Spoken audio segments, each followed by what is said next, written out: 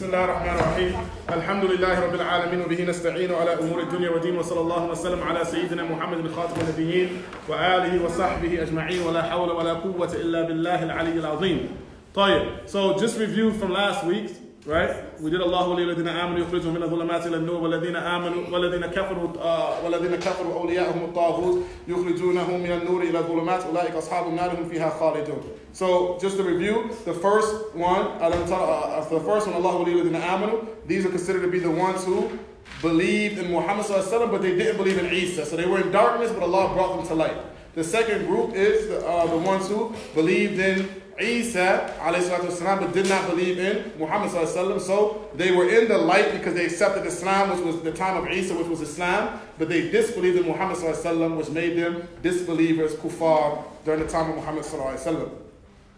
The next ayah, أَلَمْ تَرَ إِلَى الَّذِي حَاجِ إِبْرَاهِيمَ فِي رَبِّهِ أَنْ آتَاهُ اللَّهُ الْمُلْكَ Do you, have you considered, right, have you thought about the one who argued and debated with Ibrahim in regards to his Lord, right? What does it mean, the Lord? This is a quick, because we need to know when we talk about Allah. When we say Allah is Rabbuna, right? Rabbus samawati wal ard, right? What is the Rabb? Anybody know what's the Rabb?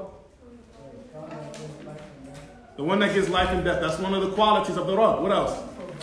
Provides. He's the one that feeds us to make sure that we have everything we need to exist.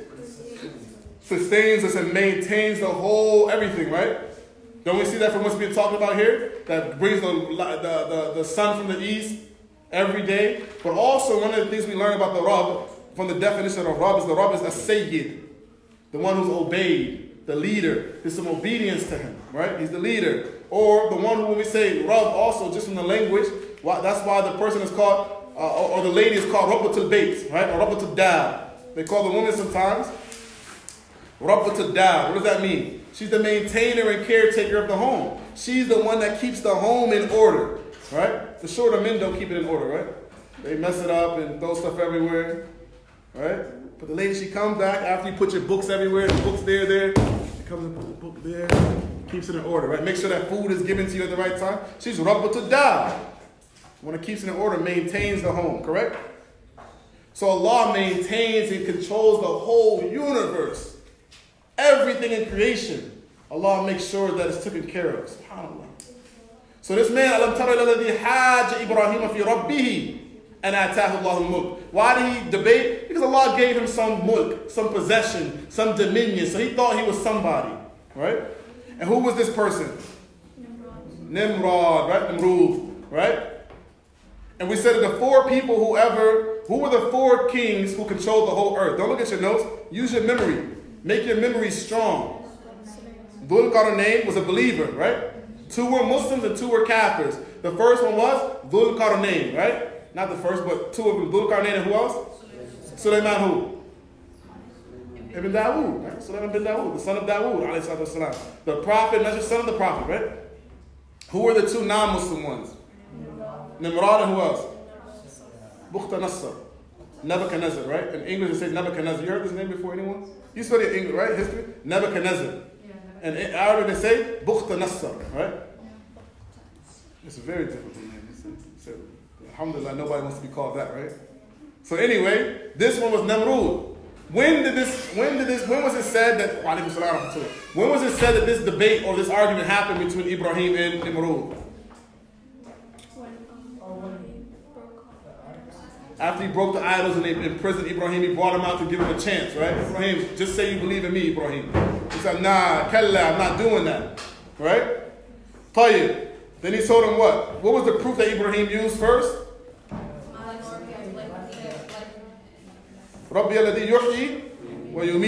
My Lord is the one that gives life and gives death. Look how this person gave us weak, weak, weak example of him. No, I, but I don't know what wa umit. And he brought one person saying, you go free, and he killed the other one. It's so weak. But I'll show you something about kufar, about disbelief and ignorance, period. That when you fall into sin and disobedience, it messes with your head. You can't think straight. So he brought this example of him giving, he didn't give life to enough, this person was already alive. But he thought it meant sense. And that's one of the biggest problems with arguing. Especially if you're arguing with your desires. There's no proof there. You're always going to say some dumb stuff. Because you're not arguing for the sake of the truth. Then he said what? What did Ibrahim use as a proof after, after that? That my Lord is the one who brings the sun from the east every day without missing a beat. Without missing. Does anyone worry about the sun rising? It's gonna come because we that the same way we don't worry about the sun rising, right? Give me an example.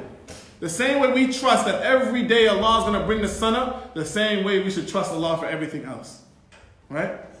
The same way we trust that Allah is going to bring the sun, the same way we should trust Allah that we don't have to do haram. We don't have to eat haram. We don't have to make haram money. Allah is going to take care of us, right? Bring the sun up every day. So why do we doubt? We don't doubt that the sun is going to rise, but we doubt that Allah is going to take care of us and protect us and provide for us. The same Allah, right? The same Rabb of everything. Tayyip? Then we say what? What's after this? فَبُهِدَ الَّذِي كَفَرَ right? So he was defeated. He couldn't say nothing. But Babuita means he couldn't speak. He didn't know what to say after that. He was confused. He knew that he was done. Babuita did kafir.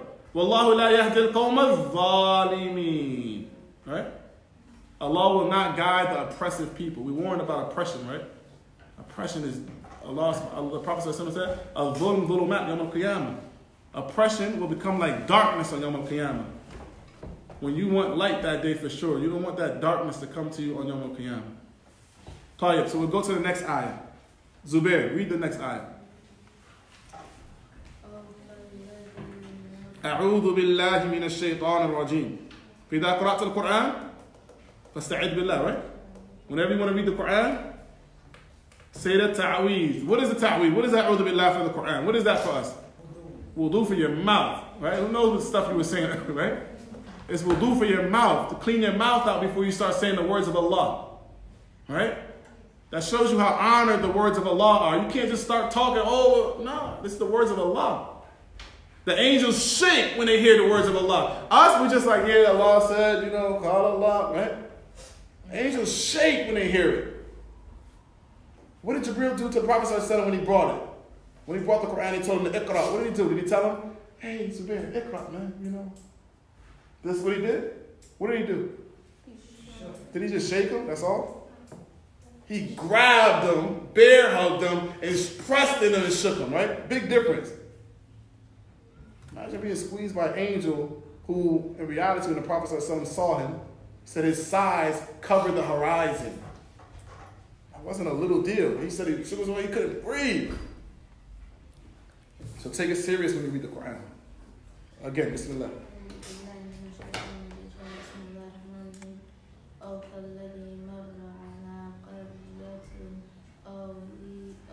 وهي خاوية.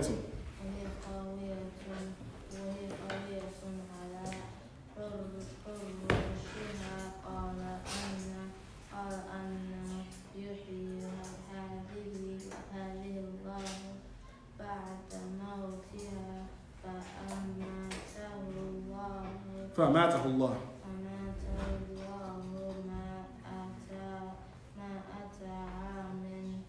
فمات الله مئة عام.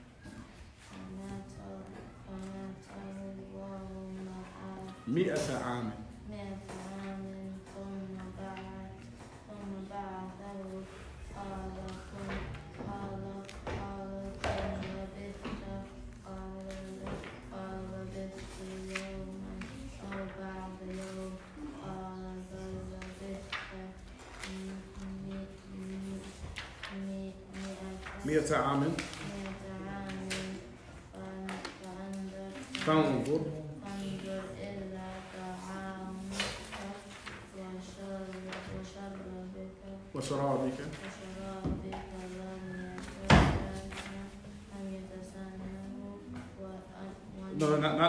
لم يتسنه لم يتسنه.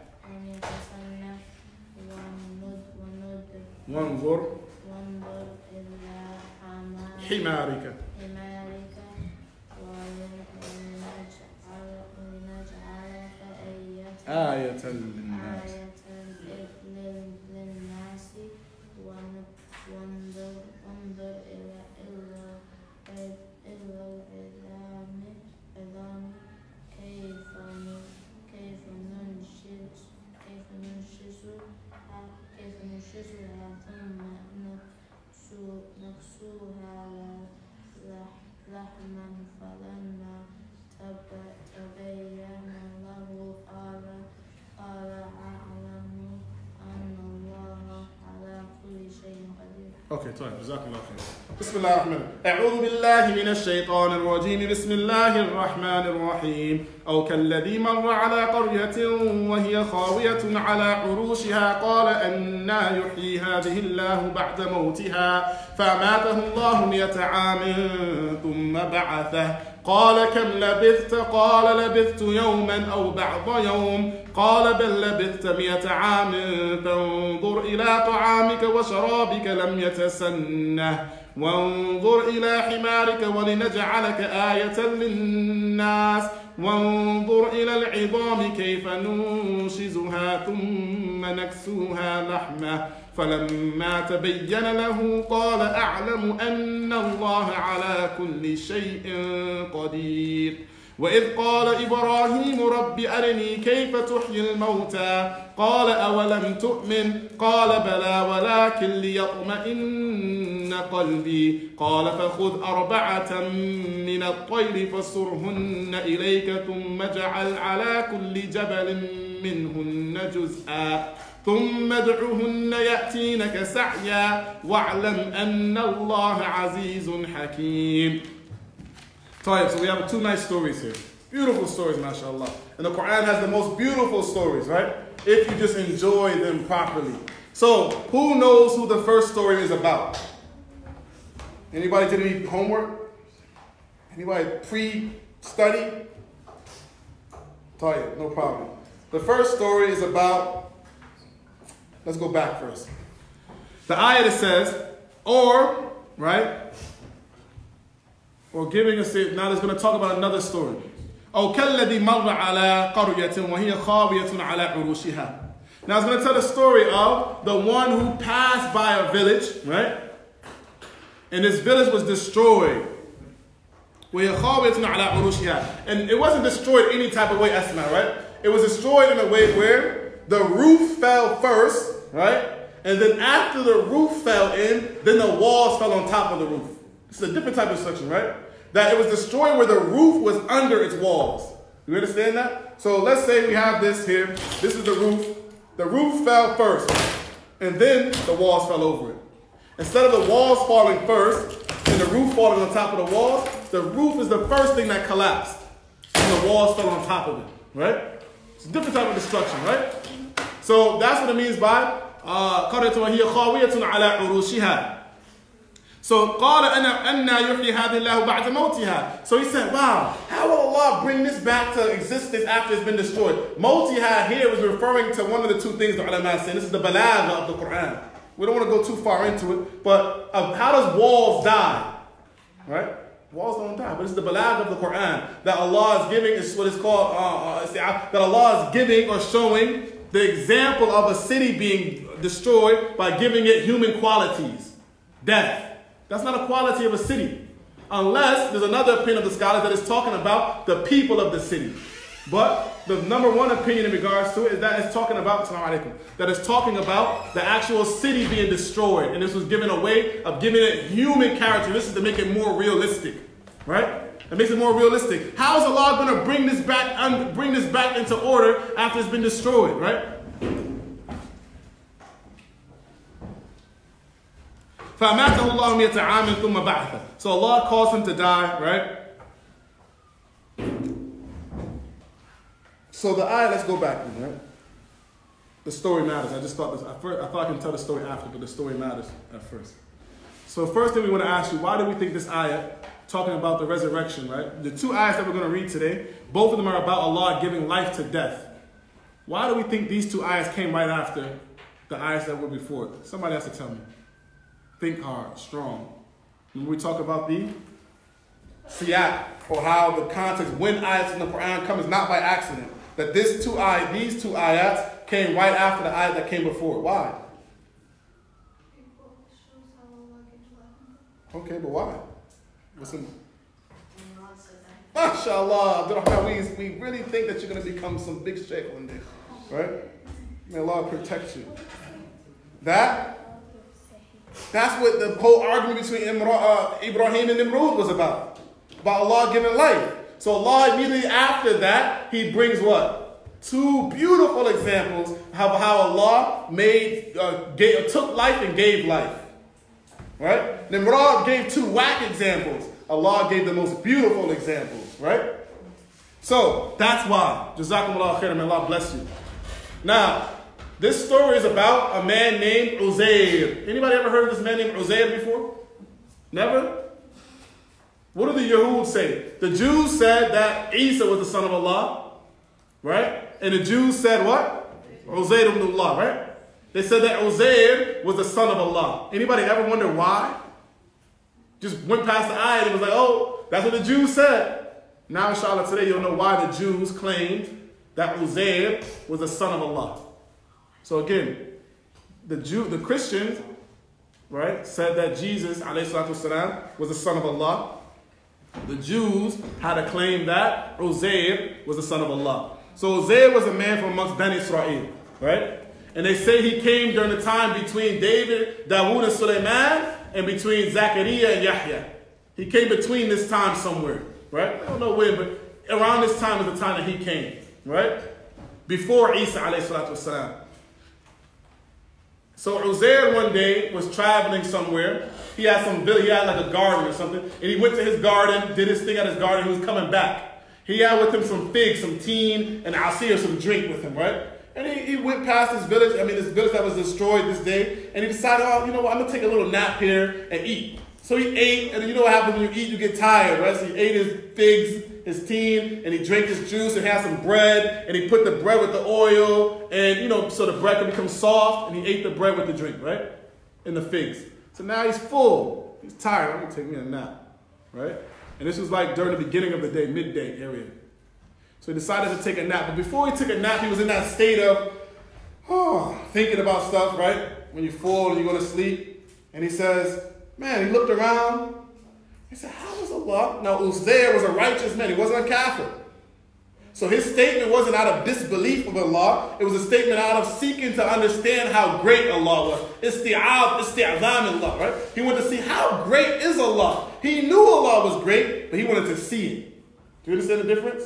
It wasn't a statement out of disbelief, like, oh Allah, you can't do it. It was a statement of Allah, I, want to, I wonder how.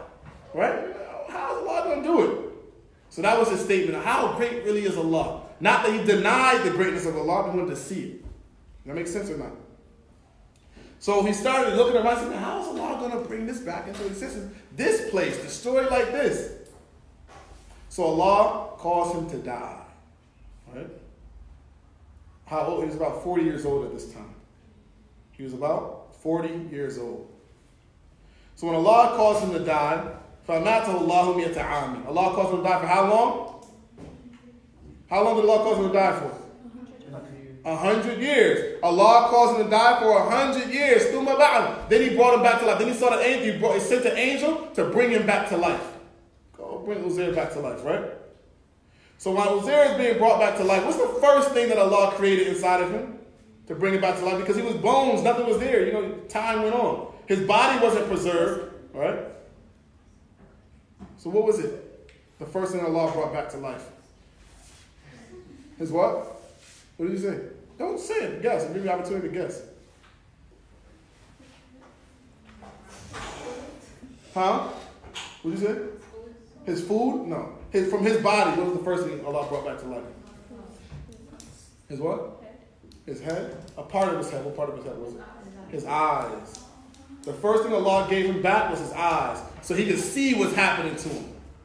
He gave him back his eyes, and then he gave him his heart, so that his eyes can see and his heart can understand.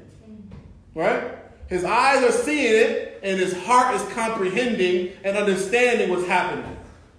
So while his body is being given life back to it, he's seeing it all happening. That his arms are coming back, his legs, then the flesh is coming on top of it. He's watching this happen, right? So then, after this, the angel comes to him. Called him, the angel says to him, How long have you stayed here for? How long were you out? So when Allah gave him back to life, it was closer to the end of the day. Right? So he thought that he just slept to the end of the day. So he said, uh, uh, Yom no bother Yom. This is, you know, part of the day. I took a nap, Kaylula. I was just out for like a couple hours, right? So the angel responds back to him, Call a no, rather, you were asleep, you were dead for a whole year. I mean, excuse me, 100 years. 100 years you were gone for. So he's like, oh, it's unbelievable because now he's like, you know, how is that? But now look at the miracle of what Allah did.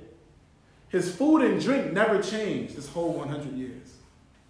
You see how big of a miracle this is in reality? No, no, the donkey did, but not the food and the drink. Now, why is that such a huge miracle? Food, expires. the Abdul Wali family again, may Allah bless you all, right? Food and drink expires immediately almost, right? What happens when you leave grapes out for too long? They get soft and they get, you know, like, oh, I don't want those grapes, get new ones, right? Figs are the same thing, right? And then your drink, it's gonna go bad. And then they said he had some milk, and milk, it starts to turn into cheese if you leave it out, right? But the food and drink, فَانظُرْ إِلَىٰ طَعَامِكَ وَشَرَابِكَ لَمْ يَتَسَنَّ لَمْ يَتَسَنَّ means لَمْ يَتَغَيَّرْ Right? That's what you have to send them. It didn't change at all. The situation of your food and drink is exactly how you left it. So he's looking at it like, yeah, but my food and drink is right there. Same way I left it. That makes sense? Same way I left it, it's right there. Then Allah Ta'ala says in the Quran, says, وَانظُرْ إِلَىٰ حِمَارِكَ وَلِنَجْعَلَكَ آيَةً لِلنَّاسِ now look into your now look at your your your your your donkey, and we're gonna make you a sign for the people. You're gonna be a sign, an ayah for the people. This is one Look at how we clothe it, right? How we, uh, excuse me, we bring it back into existence, right? And we cause its bones and flesh to come back on it again. So he's watching this happen. Then all of a sudden, the donkey's standing up again. He just watched the donkey was white. The bones of the donkey was sitting there white with bones, no flesh on it at all. You think of 100 years sitting in the sun, right? Or sitting outside. It's going to be nothing, almost, you know, just bones, no meat on it or anything. Allah, right in front of him, brought the flesh and the meat back onto the donkey, right? And then the donkey's sitting up, ready to be ridden, like nothing ever happened. Then Allah says, فَلَمَّا تَبَيَّنَ لَهُ قَالَ أَعْلَمُ أَنَّ اللَّهَ عَلَى كُلِّ شَيْءٍ قَدِيرٌ So when it became clear to him, he said, I know for sure that Allah is over everything capable. أَعْلَمْ أَنَّهُ عَلَى كُلِّ شَيْءٍ قَدِيرٌ That Allah is over everything أَنَّ اللَّهَ عَلَى كُلِّ شَيْءٍ قَدِيرٌ Allah is capable to do any and everything. So for us, that's a reminder. But as well during the people during his time, what happened was the rest of the story of Uzair, right? So Uzair now, once he gets back to life, and um, his donkey, he jumps on his donkey, right? Uzair was famous person during this time, right? So he rides his donkey back to his village. So when he gets there, he doesn't recognize anyone, right? He's like, who are all these people? They don't recognize him, and he doesn't recognize anyone. But when he gets back to his house, there was a maid, a servant that used to work in his house. She was 120 years old when he came back. She was 120 years old. When he died, she was only 20. Right? When she died the first time, she was only 20. When he came back, she was 120. She was blind at this time. She couldn't see. So he came in the house. He said, hey, Is this the house of Uzair? And she said, Yes, this is Uzair's house. And she started crying. Oh. So why are you crying? She said, Because I haven't heard anyone mention his name in so long. Right? Nobody has talked about him in the longest time. I don't even remember anybody who remembers him right now. She's 120 years old. 100 years ago he passed away. That's what happens when you die, if you don't know about it, right? People will talk about you the first two, three years. And after a while, people say, who was it? Unless you do what? Unless you do what? What's the thing that people will always remember you for, inshallah? Not even just doing something good, no. Ilm, knowledge, right? Think about it. Do you know any doctors from the time of the Prophet Sallallahu Does anybody remember any doctors from that time? But you remember the names of the Sahaba, right? Does anybody know any of the doctors or rich people from the time of uh, uh, Sheikh al-Islam ibn Taymiyyah? No. Right? Anybody? Oh, I remember that one rich guy there. No. Money and nothing else matters besides knowledge. Look, subhanAllah, thousand years later, we still say these names. Bukhari. And we make dua for them. Rahimahullah, right? If you really want to leave an impact, leave your impact with ilm, with knowledge, right? Do something that the deen will benefit from you by. The Muslims will be able to learn and live by you through, right? So anyway, They said, man, who, who's Uzair? So they, they, they're moving, and she said, man, I haven't heard about Uzair so long. Now, Uzair was somebody whose dua used to be accepted. When he made dua, when he would make dua, his dua would be accepted. So she says, oh, so he says, I'm Uzair. She says, you can't be Uzair. Uzair died 100 years ago. He said, I'm Uzair. She said, okay, if you're Uzair, make dua for me that I will not, that I'll be able to see, and then I'll see if you really are Uzair. So he made dua for her, and her eyesight came back. Right? And she was able to see. And she said, she looked, oh, you are Uzair. Right? So then now, he had a son that was still alive. He was like 110, 120 years old too, right? So they took him to the son, his son, Uzair's son, and they said, oh, Uzair, you know, uh, that, that's the son of Uzair. He was 40, 140 actually. The son was 140 or so like this, right? So they took him to the son, and the son was 140 years old. And they said, man, this is Uzair, your father. He said, it can't be my father. Uzair died 100 years ago. So they, they, you know, they remember that was Uzair. They said, okay, if you're Uzair, that's what they tell you. Listen to the Jews. They brought him a, a, a, a test. They said, okay, if you're Uzair, read to us the whole Torah. Because the Torah wasn't like the Quran. Everyone didn't memorize the Torah the way that people memorize the Quran, right? So they said if you're Uzair, Uzair was special. He memorized and knew the whole Torah by heart. So if you're Uzair, tell us the Torah. Because the Torah was also sort of forgotten at that time. Because Uzair was one of the last people to remember it completely. Right? So Uzair sat down and began to write. And when he began to write, they said fireballs came from the sky and went to his chest. Boom! And he was able to remember the whole Torah word for word and didn't miss anything. So when he did this, the Jews started to claim, You must be the son of Allah. How are you able to, you know, remember it like that? Nobody else can do it. And that's why the claim came from that he was the son of Allah. And as well, that Uzair was young. He came back looking like he was, he was 40, right? His son was 140, looks like he's 140. The late, everyone else is so much older. So they think there had to be something special about him. And you remember the whole Torah word for word? You're the son of Allah. That's where the claim came from, right? But they started to say like this. You understand this part? Mm-hmm. Any questions about this? We understand Uzair? Who was Uzair? What time did Uzair come? Huh? Between Sulaiman and Dawood in the time of Zechariah, right? Good. So Uzair was from the people of who? Bani Israel.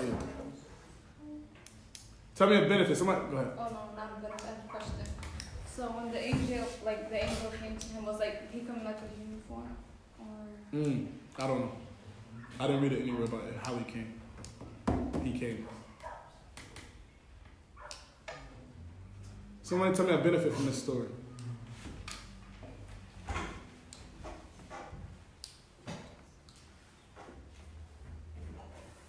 Nobody has no benefit? Did we talk all that time for nothing? Muhammad, give us a benefit, please. You.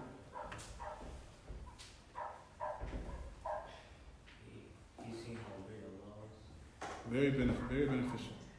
He saw the greatness of Allah in action. He actually saw Allah bring him back to life, himself back to life. Someone else give me a benefit. Ms. Alexander, give us a benefit. First day in class. Hopefully not the last day. He was able to revive the Torah for The- the Jews. He was able to revive the Torah for the Jews.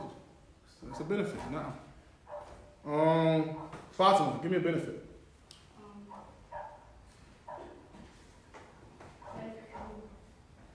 For you. For me, Yeah. For you. Any benefit should always benefit yourself first. It's a rule, right? So give me a benefit that you benefited from the story. Allah what?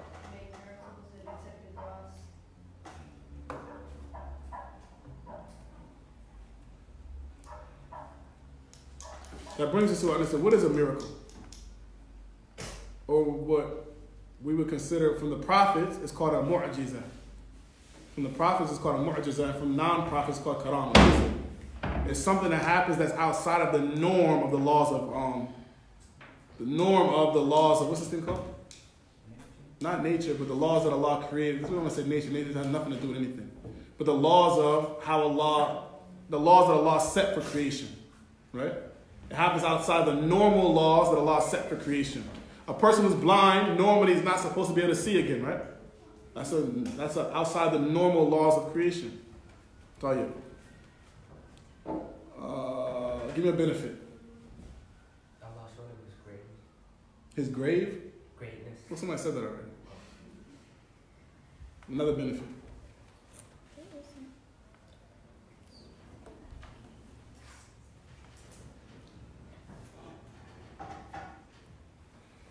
Anyone else have any other benefit? In the back. The young scholars in the back.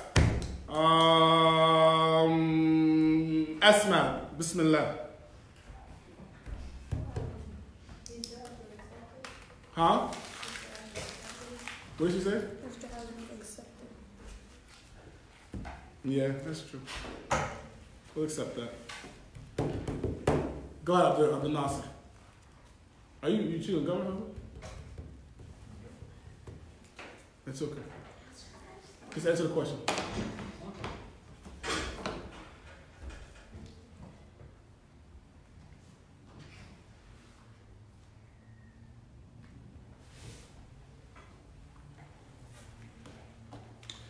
The next ayah is in regards to Ibrahim alayhi salatu wasalam, right? Now this ayah here Allah Ta'ala says, وَإِذْ قَالَ إِبْرَاهِيمُ رَبِّ أَرِنِي كَيْفَ تُحْيِي الْمَوْتَى The Ibrahim, he said, Oh my Lord, right? وَإِذْ قَالَ Ibrahim, Oh my Lord, Rabbi. I have a question for you as well. This Lord, this name Rabb, right? Rabb. If you notice in the Quran, almost all the dua in the Quran start with Rabbi, except for like two. It's amazing, right? Every dua in the Quran starts with Rabbi, except for around two, I believe it is. Right? What's so amazing about that? The prophets, you see in the Quran, the prophets always call out Rabbi, Rabbana, Rabb, right? Why is that? It's very important that you understand the names of Allah properly. Why do we think that they call out by this name? Oh, wait, what I told you the other day. So I want you to answer it. Um,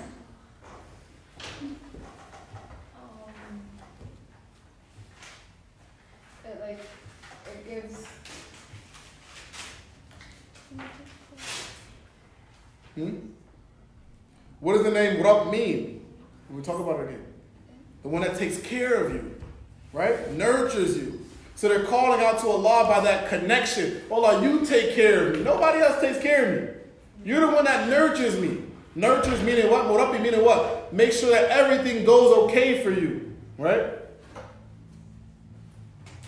Rabbi, the one that I'm connected to in that man, that's a special type of connection, right? Arini kayfa tuhyi al-mauta.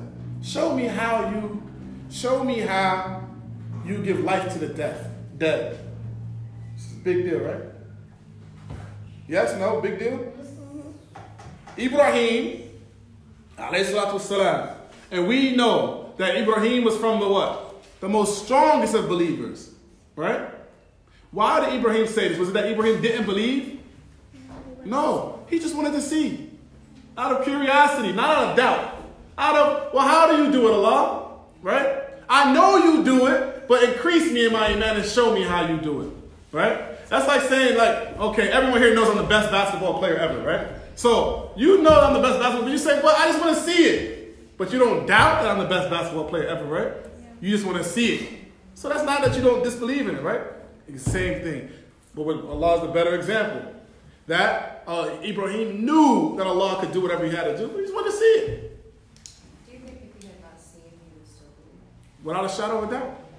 Without a shadow of a doubt. Because it wasn't a statement of disbelief, it was a statement of curiosity.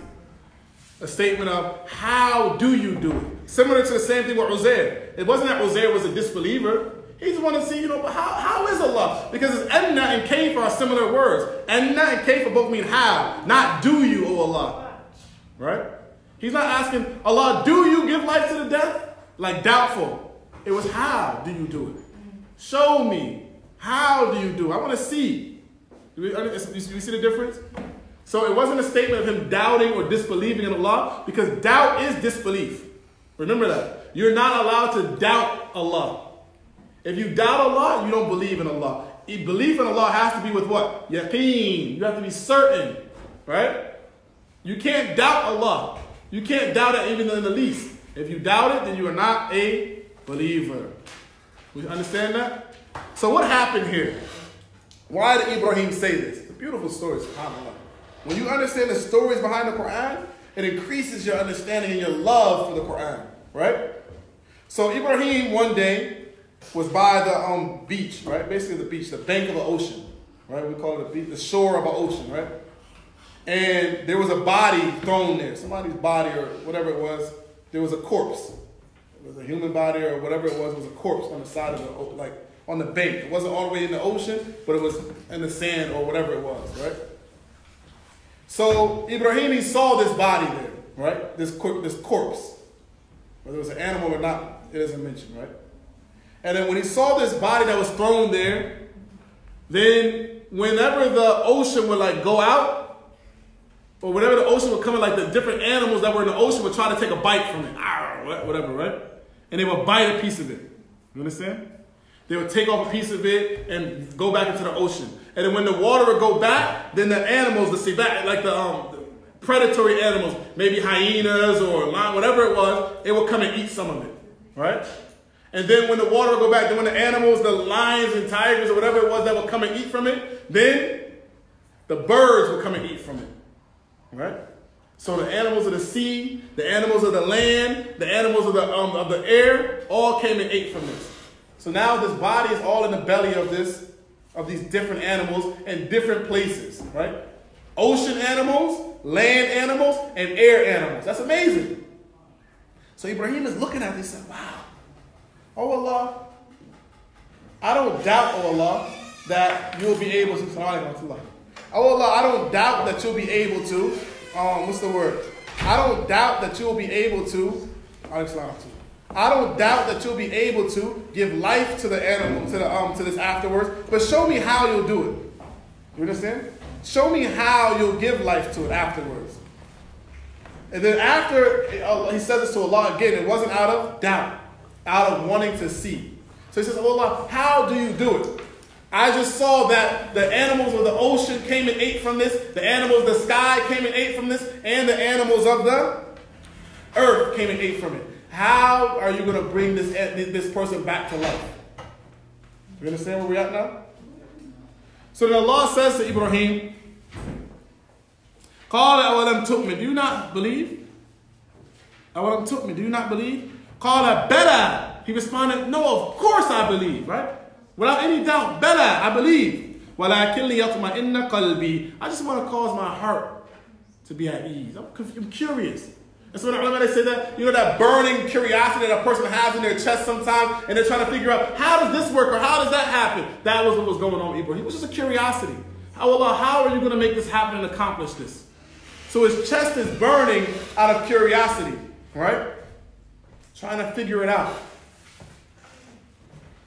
So he says, Oh, I just want to calm or cool down my curiosity, cool down my chest, right? قال فخذ أربعة من الطير فصرهن إليك ثم اجعل على كل جبل منهن جزءا ثم ادعهن يأتينك سعيا واعلم أن الله عزيز حكيم. So he says, فقال, so Allah says, فخذ أربعة من الطير. What type of birds did Allah tell him to bring? فقال قال فخذ, what did you say? قال فخذ أربعة من ال- من الطير, right? So they said that he was he brought the tawus, the peacock, the garaba, right? The crow, the dove, and also the chicken or rooster, right? He brought these three, these four types of birds, different types of birds, right? And he was told to slaughter them, you know, to cut them to pieces and put them on different mountaintops. Not just put them anywhere, but separate them far, right? And then after you do all that, call them back to you. And they come back to you. Allah brings them back together. The different birds. One bird didn't come, the, the peacock didn't come back half peacock and half chicken. The, the crow didn't come back half crow and half pigeon. They came back, each one came back with its specific pieces. So this shows the miracle of Allah to be greater than just what it was in the beginning. Each one came back perfect, right? And Allah says after this, وَعَلَمْ أن الله عزيز حكيم. So when you see this, you'll see that Allah is Aziz. He's mighty, powerful. He can do anything, right? And He's Hakim. He's wise. That is nothing that Allah does not place in its proper place. Everything is done by the wisdom of Allah subhanahu wa ta'ala. So we see from that there, right? Now, there's another benefit that comes here. Why did the story of Ibrahim come after the story of Uzair? But the first story was about Ibrahim as well, right? So the story between Imran, uh, uh, Ibrahim and Namrud, then it comes the story of Uzair, and then another story right after Ibrahim. Why didn't Allah not just put the story of Ibrahim together, both of them, then the story of Uzair? What's the benefit there?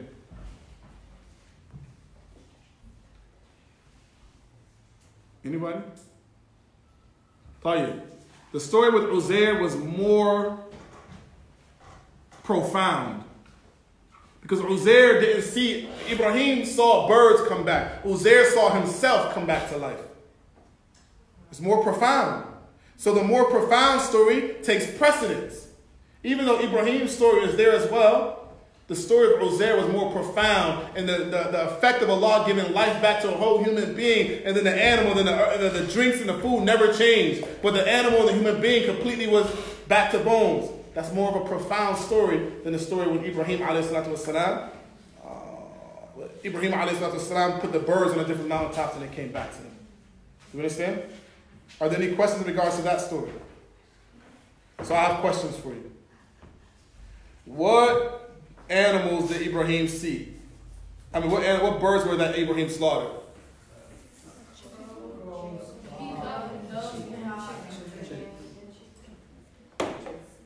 What was the reason that Ibrahim wanted to see this?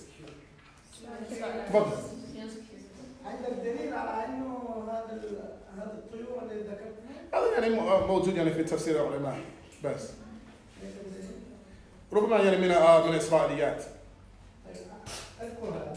No. So, a lot of the stories like this, that the most of it comes from the, the, the stories from the Israeliyat. The ulama, they bring it in and narrate it. They narrate it. Some of the other, of course, there's a difference of opinion amongst the scholars about narrating the stories of the Israeliyat. But the more correct opinion from the, of the statements of the ulama of tafsir, the more correct opinion from amongst the statements of the ulama of tafsir is that you narrate it, right? As the Prophet says, you narrate it, but you don't have you don't believe fully or you don't disbelieve, but you narrate it as extra facts, as extra facts or extra information about the story. That's it. So, what was the reason that Ibrahim alayhi salatu um, what was the reason that Ibrahim alayhi salatu asked about this? Was it that Ibrahim disbelieved? No. But it was only that Ibrahim wasalam, he wanted to see it with his own eyes how Allah does it. Not that he didn't believe Allah does it, he just wanted to see how he does it. It's a big difference, right? Than disbelieving in it and saying, Well, Allah, do you do this? Are you capable of doing this? That wasn't the situation at all with Ibrahim. We have to be clear about that because some people they try to utilize it as a false way to say that having doubt is acceptable. Having doubt in your iman is not acceptable and it's kufr. You are not allowed to doubt anything about what Allah and His Messenger have informed us about. We clear? Is that clear? Tayyib. So now, inshallah, we said that if we have time, what time is it? 3.30? Oh. Hmm. Quickly, inshallah, we'll, we'll mention some things from the story of the time from Ashura. Inshallah. So, Bismillah. Musa wasalam, when he was calling Fir'aun and his people, right? He called Fir'aun and his people and they said that he stayed amongst Fir'aun giving da'wah for around 30 years. Around 30 years he's giving da'wah and calling them to uh, to Tawheed and calling them to the Haqq, right? So they don't accept. So then one day at the end, Allah, Musa salam, he made dua that Allah, you know, after this, Allah sealed their hearts, right? Don't guide them to finish them off. So when, when Allah responds back to this dua and he finally calls out to Musa, okay, take your people at night time, but be careful, you're going to be followed, right? So Musa, the plan was that it was inspired to Musa to tell his people to plan, to tell Fir'aun, to ask permission from Fir'aun, and say they have an Eid. They have a holiday that they have to celebrate. Can they go out and you know and take care of this holiday? Right? So Fir'aun reluctantly, not happy, reluctantly gave them permission. Right? And when he gave them permission to do such, he wasn't happy about it. But now what Ben Israel was told to do by Allah subhanahu wa was told to, tell, to told them, take the gold and silver from the people of Fir'aun. So they went to whoever they knew, whoever they might have had an association with amongst the people of Fir'aun, and said, listen, we're having a party. Let us get some gold and silver, some jewelry. Right? Let's get your jewelry and stuff, right? So they got all the jewelry they could get and the gold and the silver that they could get from the people of Fir'aun.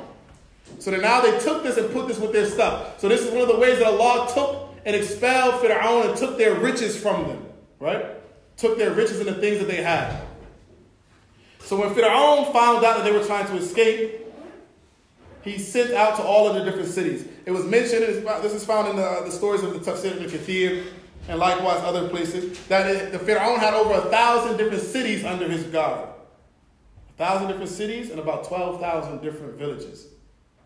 He had a big dominion, he had a big, you know, kingdom. So he sent out to get as many people as he could get to try and chase after Musa and his people. Musa had amongst his people five, a half million that were supposed to be like fighters, right? That were going to fight if they had to fight. Pharaoh had over a hundred thousand horse riders. Over a hundred thousand horse riders. And his army was about one million and a half people. Right? It's a huge army. Have you ever seen a million and a half people? It's a lot of people.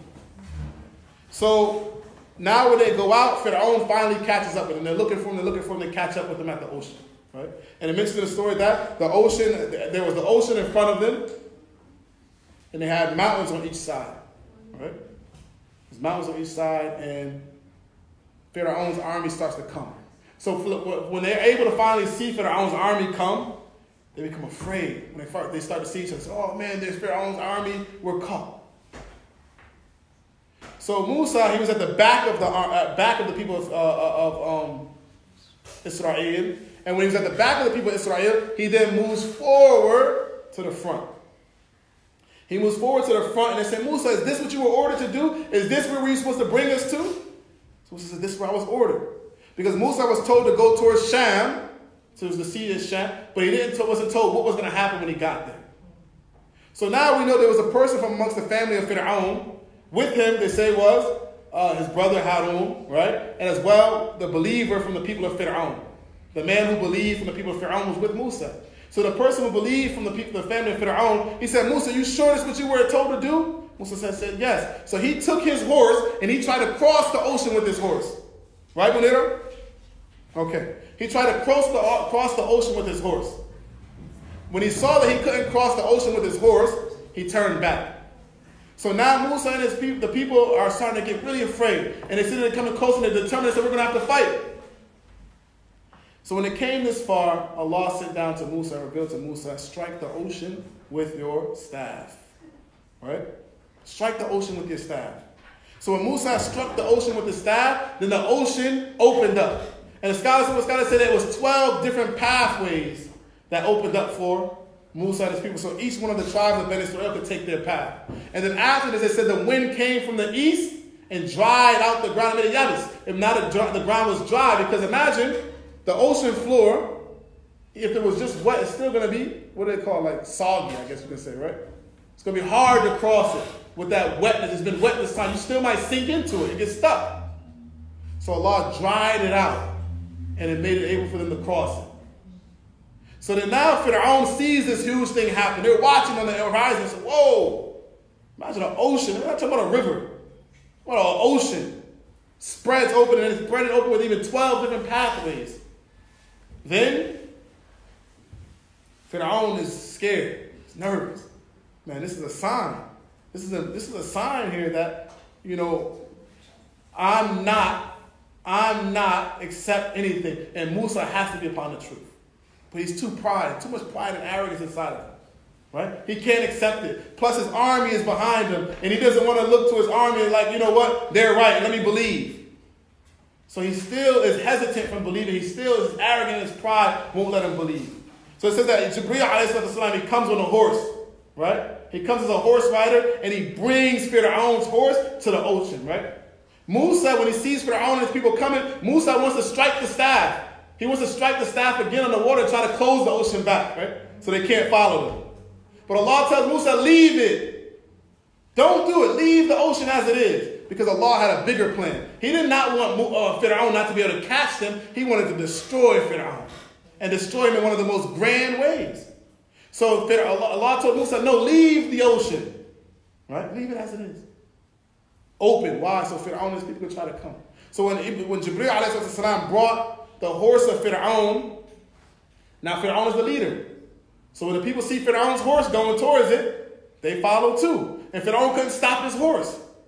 So they bring and they go after and they follow um, uh, uh, um, Musa into the ocean. And once all the people of Pharaoh were in the middle of the ocean, then Allah told Musa to strike the staff against the water again and close it. And the water surrounded and drowned the whole people.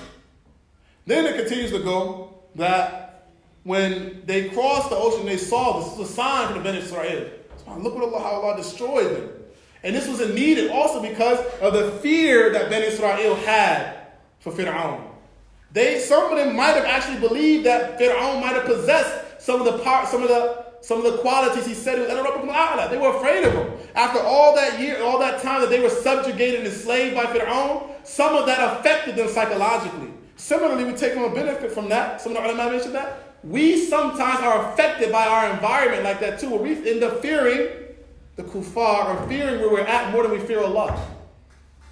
And we don't even realize it. That we're psych, psychologically afraid to change because we're, in, we're, in, we're enslaved by our own minds. Sometimes your mind enslaves you more than actual chains. Right?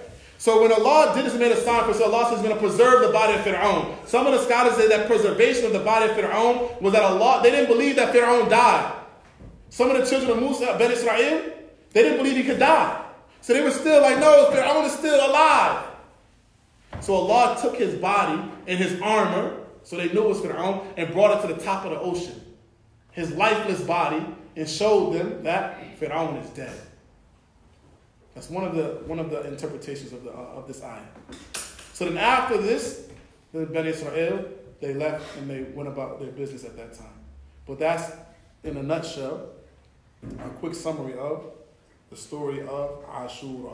And this was said to happen on Ashura, which most commonly is known to be the 10th of Muharram. And Allah Ta'ala A'lam. Can you stop listening?